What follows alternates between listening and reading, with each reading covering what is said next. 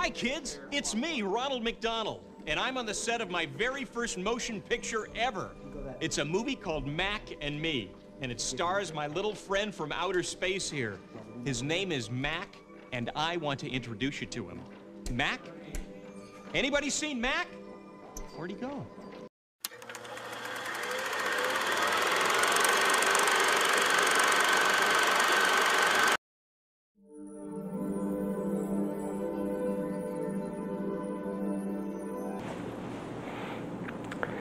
What's up, YouTube? It's J-Man and me, the Jokester, back with another movie review. And this time, we've watched quite, quite the entry. Another classic of bad movie cinema. J-Man, what did we watch? Mac. Mac. And the rip That's right, Mac and Me. Probably the most famous E.T. ripoff because it is so terrible. Um, a young boy who, uh, who's in a wheelchair, just like you, uh, is visited by a an alien who's been separated from his family. And he's got to try to stop the government from taking the alien away. And um, that's the long and short of it. And uh, there's a lot of Coca Cola and there's a lot of McDonald's in this movie because I believe those companies help pay for it. So the aliens drink a lot of Coca Cola. That's that's what uh, helps get them along and get them through their adventure.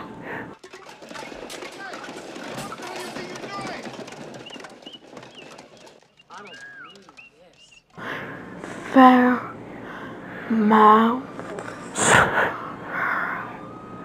Like That's right. Their mouths are already in the soda sipping formation. They can't.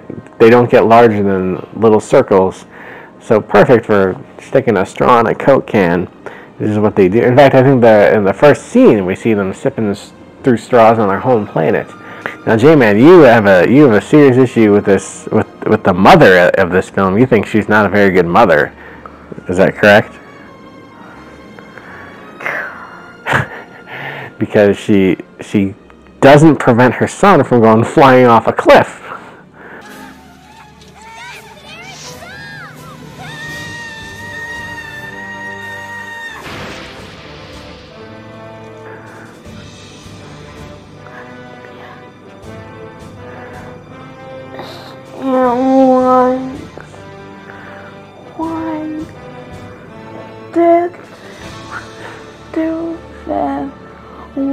Why did you Barbara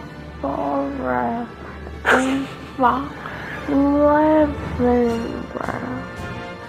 That's right. The mother is so upset because uh, one of one of the this one of the decisions the alien makes is he puts all these trees and bushes in the family's house, and the mother is so distracted by that she doesn't realize her son has uh, rolled off in his wheelchair to a, an enormous cliff that's behind their house. Not a great uh, location, if especially if you have a if you have kids at all, especially if you have a kid in a wheelchair. Can cat dog that's a terrible house location. That's right. In CatDog, they live on the edge of a cliff. Now, another, uh, you know, as I noted, McDonald's has a heavy presence in this film. So there is a scene at a McDonald's, and who is there? Surprise, surprise! One of your favorite clowns, Ronald McDonald. Hiya, Coach. How's it going? Nice teddy bear. Hi, Eric. How you feeling? Have you seen my brother yet?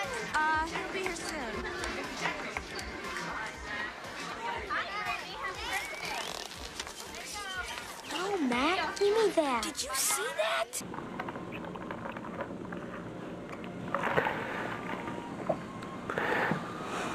Song of the end. The end. And speak American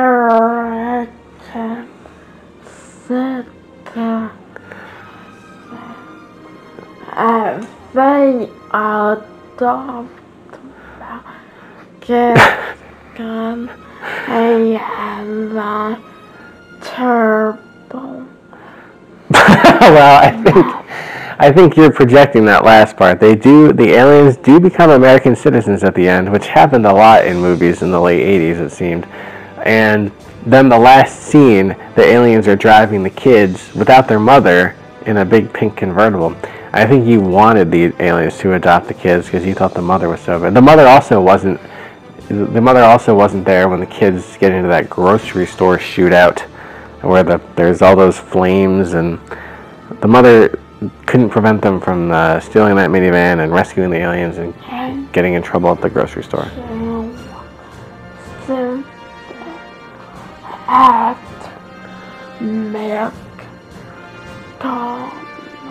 That's right. She, the mother was not present for that big dance sequence at McDonald's. Do you think? What do you? What do you think about Ronald McDonald being in this movie? Did you seem kind of excited when you saw Ronald?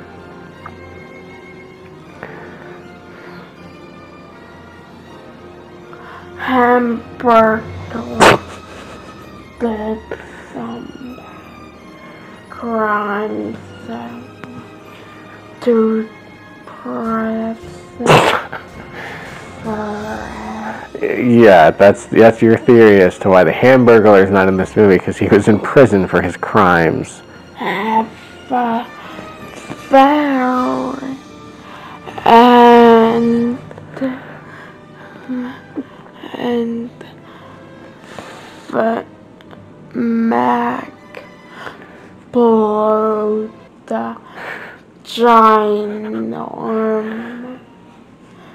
gumball and it said we'll be back actually feeling Veronica make a sequel. No, they're not. Um, that was false advertising. So they got a little uh, sure of themselves.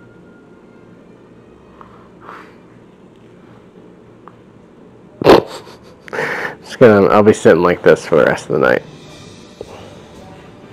J-Man, if an alien came to Earth and asked you to help help find his family in the desert, would you help it? Yeah, if an alien came to Earth and asked you to give it a bunch of Coca-Cola, would you give the alien Coca-Cola? Sure. If an alien said, let's go to McDonald's and have a dance party with Ronald McDonald, would you do that? Sure. And we see you next. We'll see you next time, YouTube. Thanks for tuning in. We love you, and we'll catch you later. Okay, make the Mac and me face. Make the alien face.